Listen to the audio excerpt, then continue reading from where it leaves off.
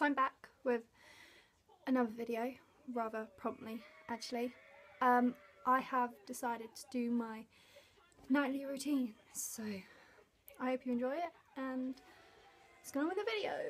Firstly, I'm just using some deep cleanse face wipes to roughly take off my makeup. I don't tend to rely on face wipes because they tend to stay in the packet and collect bacteria and it's not really good for my face.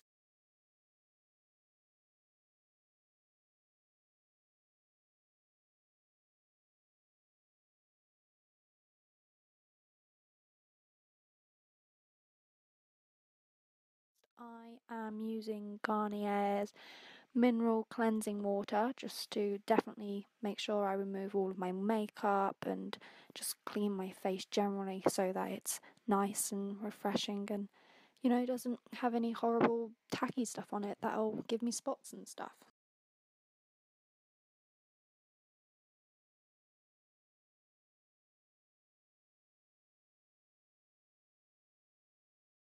Now I am using Tea Tree Spot Stick because I'm a teenager and spot prone and I have quite a few spots anyway, which is horrible, but it's coming up to winter, so I'm becoming very ill and spots tend to come when you're a teenager and you're ill, so I just use that and it helps get rid of them.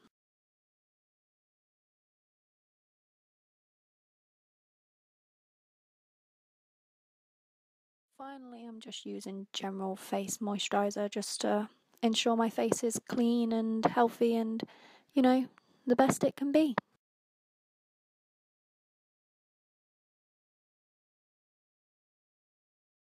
Yeah, so that was a brief insight and routine of my nightly routine.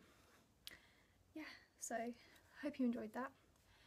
Feel free to like, comment and subscribe and I'll see you next time. Bye.